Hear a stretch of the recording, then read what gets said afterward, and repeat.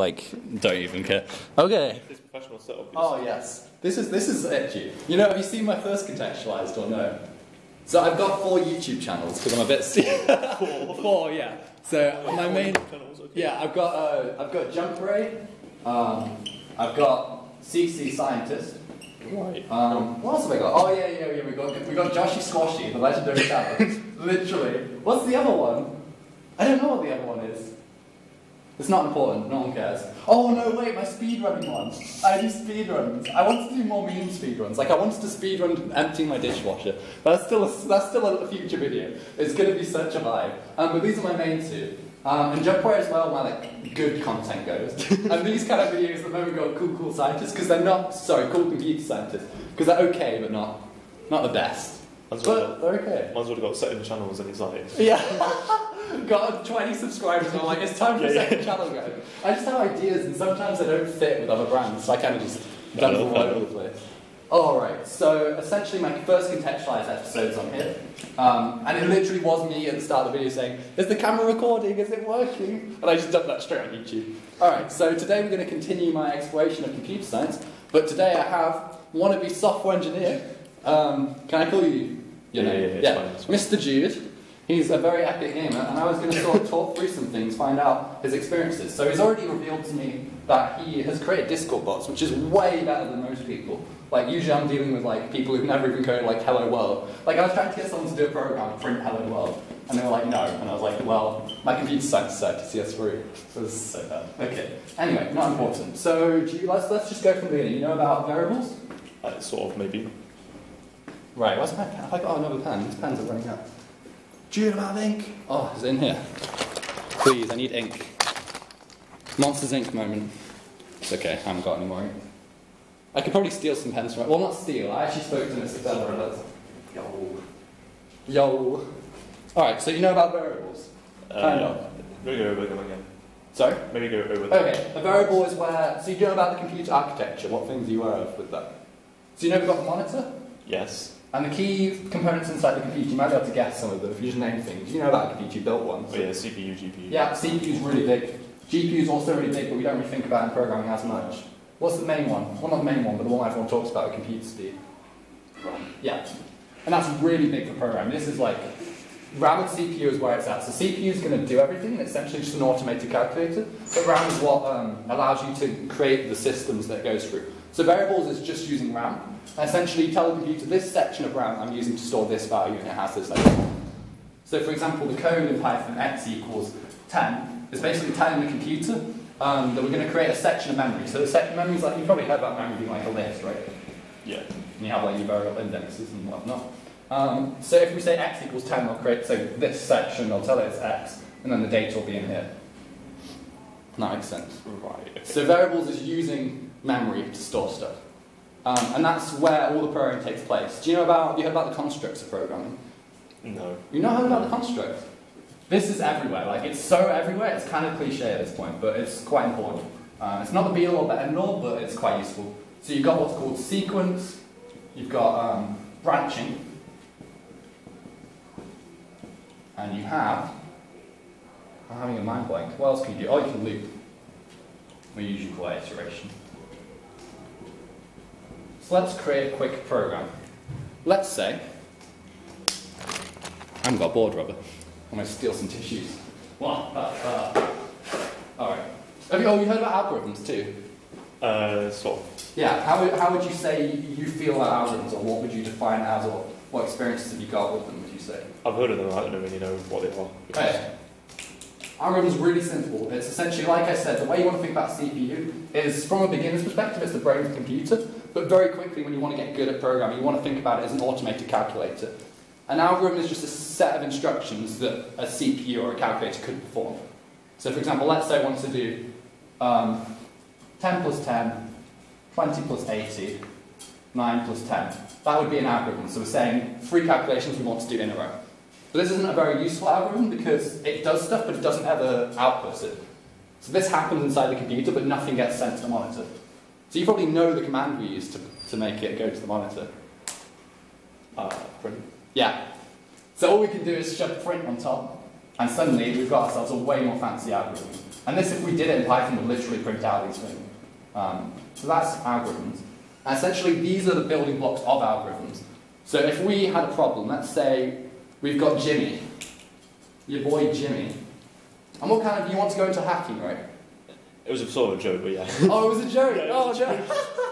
Hacking's a genuine career. I know it is. Yeah, yeah, and a lot of people go into it without any formal education in computer science, just by picking up people from nerds around school like me or whatever. Oh, maybe, maybe, Yeah, right. maybe it's a future career then. Yeah, 100%. Um, it's more about if you've got a good work ethic and if you're able to make good business connections rather than anything else. But it does help if you've got formal education. We've got Jimmy. Jimmy's got some maths homework because Jimmy is doing a, being a good boy doing his studies, but he's not that good a boy because he essentially got given the lamest homework ever, where he has a sheet of homework and he has nine problems. Let's say he's got seven problems. Alright? And each problem he's got a circle and it's the exact same problem over and over. He has a radius, so maybe it's four for the first one, five for the second one, seven, and he has to find the area for each problem, right? And Jimmy wants to cheat at his homework using programming. Instead of calculating each one by hand, shoving it into the calculator or calculating out, he wants to have an algorithm that will let him just solve all of them like immediately. And we're going to design him an algorithm. Okay. And I like sort of trying to bounce off who I'm talking to. So I'm going to ask you about how you think you might do this using our constructs we have here. And I'll try and push in information where I can here and there. So what, what, what things does the algorithm need to have? What characteristics to be able to do that? Um,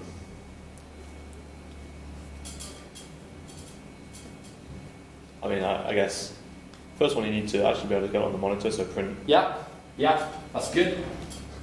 That's solid. Um, And by the way, this is a hard problem. This isn't easy. But that's, that's why we're doing it. That's how you oh, get I've got it. no experience with it. Okay. Um, I don't know. I guess somehow made like obviously those sort of problems you is an equation, so Yeah. somehow you put the equation into the code. I Yeah, that yeah, yeah, yeah. Equation? Do you know the equation in this case? I haven't done maths. In Yeah, that's literally every programmer ever. Like they'll be doing some algorithm, they'll be like, I know maths lets me do this, but they'll have to go search on Google what the I algorithm haven't is. That's completely fine. year. If not, that's fine. It's really It starts fine. pi. So you go on Google and you search what's the area of a circle formula. Yeah. It will pop out area equals pi r squared, where pi equals approximately 3.14. Okay, great. So that's our calculation. That's our equation. This is good. And these are both of one of these three. Every, pretty much anything in programming will have one of these three fundamentally. Which one are you going to go for? I haven't explained them really, but their names kind of here and there explain what's going on. Um,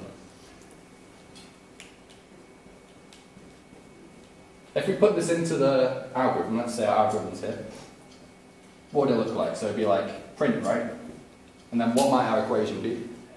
Let's say we're just doing the first one, radius 4. yeah, so pi. Yeah. Four squared.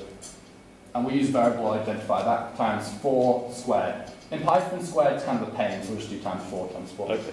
Um, a lot of programming languages have it, but in Python it's like this. If you want to square x, it would be like double star 2, but in brackets it's annoying. And like maths, we can just shove it up top. Yeah.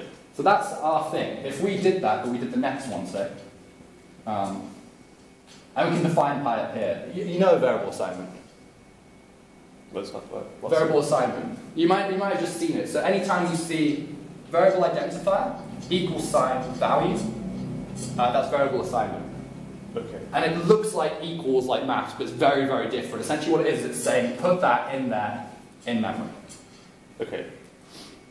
Um, so here, we can use variable assignment to say what is pi. We can store in memory pi the value 3.14 so the program will work, for example. Alright, pi times 5 times 5. And it'd be nice if we got some programming. We could do that. We could turn a computer on if you're interested. We can start doing some coding. It's probably the best way to learn. But then again, maybe I should go less detailed and more just everything. You said you had like the whole of break, right? Yeah. The whole. And if you're bored, just tell me and leave. That's, that's fine. So what, what are we doing? Are we, are we branching? Are we making a decision and switching based on that? Are we looping? Or are we doing things in an order that's set out? Uh, I assume sequence maybe. Yes. Yes. Yes. Yes. Yes. And we call this algorithm design and analysis. And it's very important. So we've got sequence going on. That's really good. But what else are we doing? So we, we're doing things in order. Pretty much any program is probably going to involve sequence. What else are we doing in this specific case? Um, we're doing seven problems.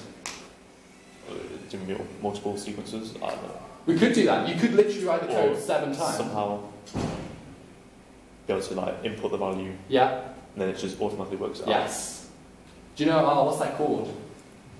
Uh, that's called the procedural approach. It's very important. So essentially you can put things into a procedure, make it general, and then switch it for any input. We can do that. We'll definitely do that in a second.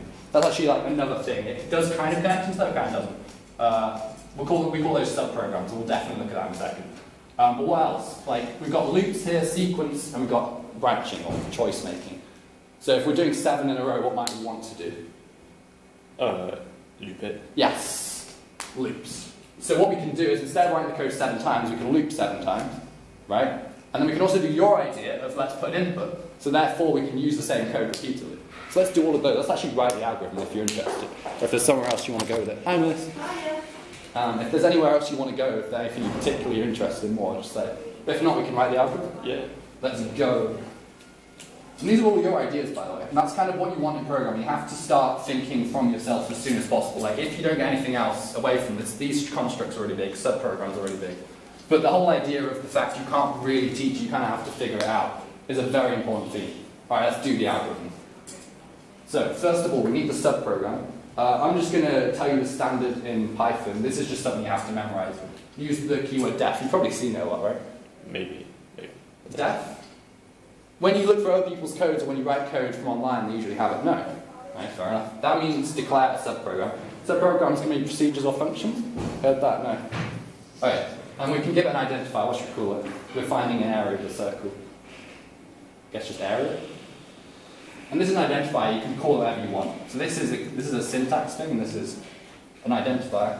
And we want our input R. Yeah. And then either it can be a function or a procedure. If it's a procedure, it does something. If it's a function, it gives back something. So here we're going to return. And then we're going to do, um, we can use a squared. So pi times by r squared. Yeah, I can rub this out for now. I'll come back to it in a bit or whatever. And essentially what we've got here is what you were saying, the input, and then here's our output. And we can use that later on. So what we can do is we can do a, a loop. I should probably put these here, shouldn't I? Uh, I'm going to call it selection. And loops. Okay. So then what we do is you have to just have to know. So there's two types of loops. Have you heard about the two types of loops? No. No. Okay. So the two types of loops are you've got a fixed loop or you've got a conditional loop. So a fixed loop might be do a star jump and then do it four times. So in which case you go star jump four times. Or other times you'll say condition. So you might do do star jumps until the end of the class. So you keep checking is class over, and if not, you keep doing star jump. Um, here we want a fixed loop because Jimmy has seven problems. So the syntax in Python for that, you've probably seen this. If you haven't, I'd be surprised. This thing. Yeah. Yeah. Um, and what we can do is we can uh, use our print, good old print, get things onto the monitor, and then uh, we can call the function. You're probably aware of calling functions, maybe? And we have to cast. Casting is a bit, bit naff, but input. And we have bracket hell. This is a, a very common programming thing, having all the brackets. And that's it. Surprisingly short algorithm, to be honest. And that often happens in programming. When you're thinking about it, you're like, this is so much going on. And when you write it, it's like only three, four lines of code. Um, makes sense? Doesn't make sense? Sort of, I guess. If there's anything that doesn't, just like be like, Josh, this is stupid or something. what do you think? Sort of makes sense. I mean, obviously, I don't have much experience with this. Yeah. So I well, I'm assuming practice- no practice prior knowledge. No, no, not Yeah. really, no. So the key things really we've looked at here is the different constructs and what they look like in practice. We haven't looked at selection, but it's not important. You can do a lot with just sequences and loops. Um, the other key thing that I need to talk about soon, I did, is data types. But you're probably more familiar with data types, and if you're not, that's fine. You ever heard of data types? Aware of them? What sort of things are they like? I might know them. String, floats, integer, boolean, char, Uh, the only one I recognise is that integer. but I don't know what that is. integer. So essentially a data type is an information type. So when you get information in the real world, there's different types of that information. So one kind, we probably do this in psychology, right? Probably, yeah. Like one kind is like visual information, yeah, yeah, yeah. or another one is like verbal communication. This is essentially the program equivalent, and it essentially tells the computer how to deal with something. So, for example, 10, as in I have 10 cars, or 10 as in a kid, uh, someone actually called their name, their kid 10, because you know people have dumb names these days and whatnot. Essentially, these are different kinds of information. Here it's a name, but here it's an amount, and the computer needs to deal with those differently because they should behave differently. Um, there are five main data types, but Python only has four. I would stick to Python as well. It can get very confusing if you start doing programming in general. I've done that a bit, but you need a bit of general programming, but you can stick to Python. Python there's only four. Um, you've already said one, integer. Um, in Python we have floats, um, which are a pain. you can have like whole lectures. We could have spent this entire time talking about floats. Not a joke. That's what I did in my studies recently. Um, we're not going to do that though. Booleans. Probably heard booleans, maybe, maybe not. And the last one, very famous, strings. Um, other programming languages have one more, char, but Python doesn't, which is quite nice. It's quite a pain. Um, yeah. Have you heard of booleans? No? No, no, no. Okay, true, booleans only have two values. They're either true or false. And this might sound kind of useless, but it turns out in computer decision making, this is the key. The computer will either do something or not do something. There's no in between. And you use that construct to build everything else in the computer system. So when you have your AI making decisions about whether a face is of one person or another, um, it does not just look at the face and know. It has to make a bunch of decisions about it is this, it isn't that, it is this, it isn't that, repeatedly to get to an output. All right, we've got two minutes left. So, um, yeah. I don't know if any of that would have gone in. I, I think you really do need to code to start getting it Yeah, I'll try doing it in the holidays. Yeah. Have you heard a snake of Snakify? No, it's not. No, Snakify it gives you a bunch of problems. So you know like my problem with Jimmy? Oh, I It'll give you a bunch of that, and it starts really simple. So I'm guaranteeing you the first three problems, just from this talk that I've given, you'll be able to solve them. So you'll feel like I am smart. You'll solve those and you'll move on, and it'll get harder and harder. But like they're really strong, and that's how I would get good at Python. I would say. Snakify. Snakify, yeah, yeah. If you have any questions about anything, just like just like shout at me over the internet. I like I love talking about this stuff and whatnot. And yeah, thank you on YouTube. Let me know in the comment section. Um, can you see me, maybe? Let me know if this made any sense or not. And if it didn't, leave me a comment or join my Discord one. Am I in frame? no, your head's got on. Hello. No, you are. Please subscribe to Cool Computer Scientist and to youtube.com slash jumpre. Um, see you in a bit. Bye. Very nice.